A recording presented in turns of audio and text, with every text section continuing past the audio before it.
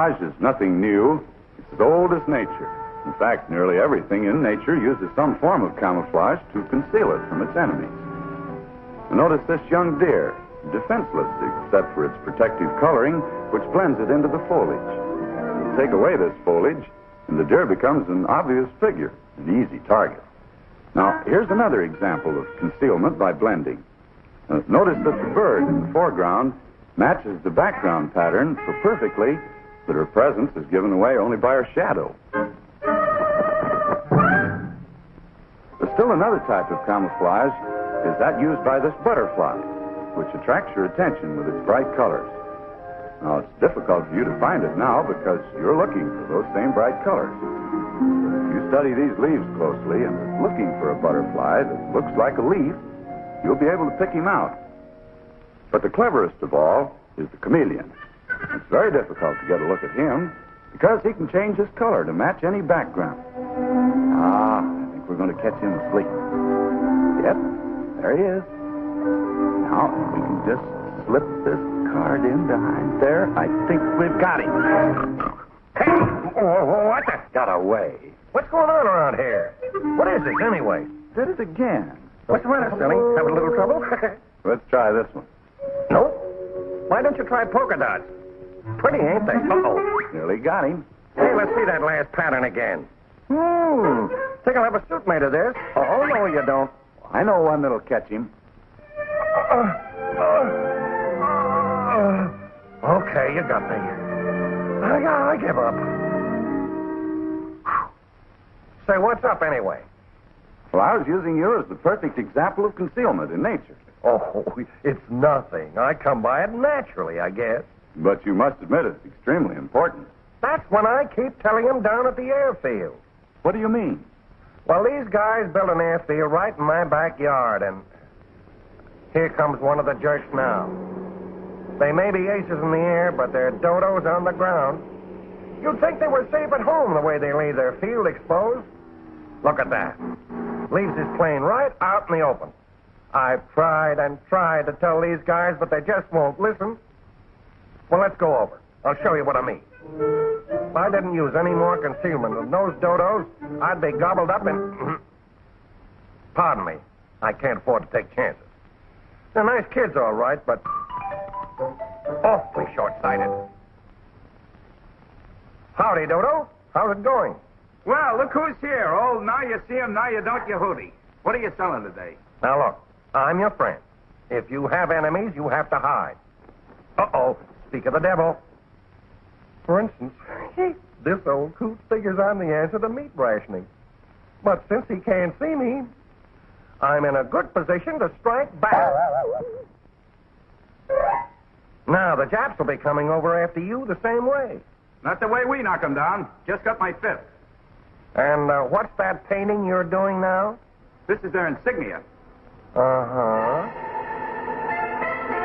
Same as on those up there, ain't it? Yep, same thing. Whoa, Jack! Personally, I'm getting the hell out of here. Get going, Bud. How do I get myself mixed up in these things?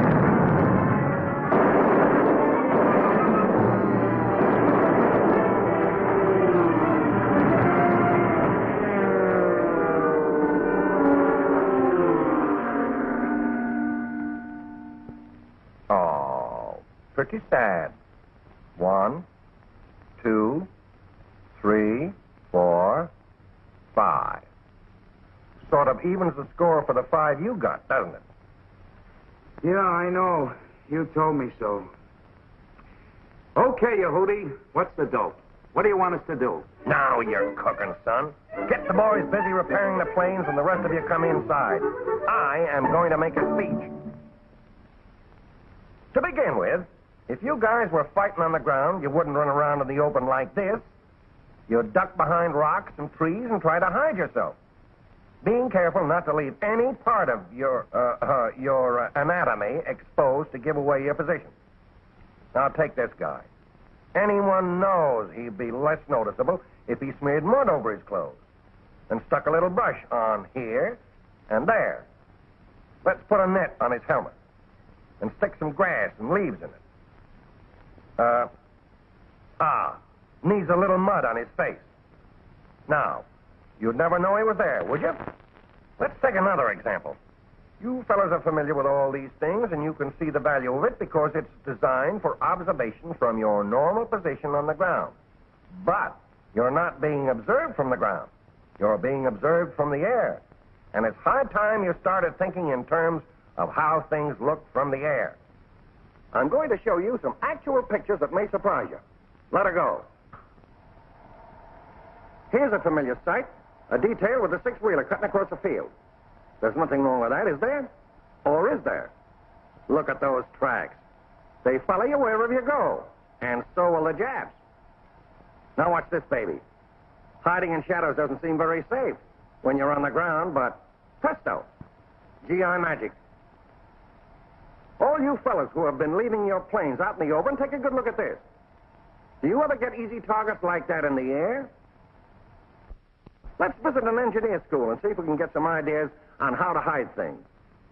You've seen these fellows weaving strips of cloth into a net and building frameworks for installations around airfields. And, uh, uh, oh, oh, yeah, yeah. Yeah, that's where they tar and feather a roll of chicken wire. And here they're making a dummy bush. And that's a fake rock he's working on there and back. Now, what you make a dummy tree? They take a section of wire covered with those chicken feathers, fasten it to a simple wooden framework built to the size and shape they want. Then they paint it the same color as the real trees in the surrounding area. And they've got a tree that, that, that that'll even fool a dog, especially the kind that flies zeros. Now let's see how they use these things. Take that plane and the trees. Here's a place for dummy trees and rocks and bushes. But you don't have to cover the plane completely with trees. Just hide identifying features. A carefully placed dummy tree can change the shape of a wing by covering part of it and casting a shadow over the rest. More than that, it'll distort the shadow cast by the wing on the ground. Remember that shadow. It's just as important as the object itself. It can give away your whole installation if you don't keep it broken up. There now. See what you get? Would you ever guess there was a plane down there? Now, instead of using the shadow to hide the plane, let's take a problem where we have to hide the shadow. This plane in the open is a good example. Looks like the boys figure a garnishing net is the answer to this one. See how they've thinned out the garnishing at the edges? That makes the density of the shadow diminish gradually, then up over the framework, carrying it well out to the sides to guard against lateral observation. Watch where you walk out there. You're going to leave tracks. Roll the old plane under. That's the way. Okay. Now, how does it look? Uh-huh. Given away by that short path running from the wagon road to the installation. That's the one path they used all the time they were building the thing. And now they're finished. They have one path to cover. And they do this by replacing the foliage that was originally there. But your best bet is to stay out of the open areas if you possibly can. Look for natural covering like trees,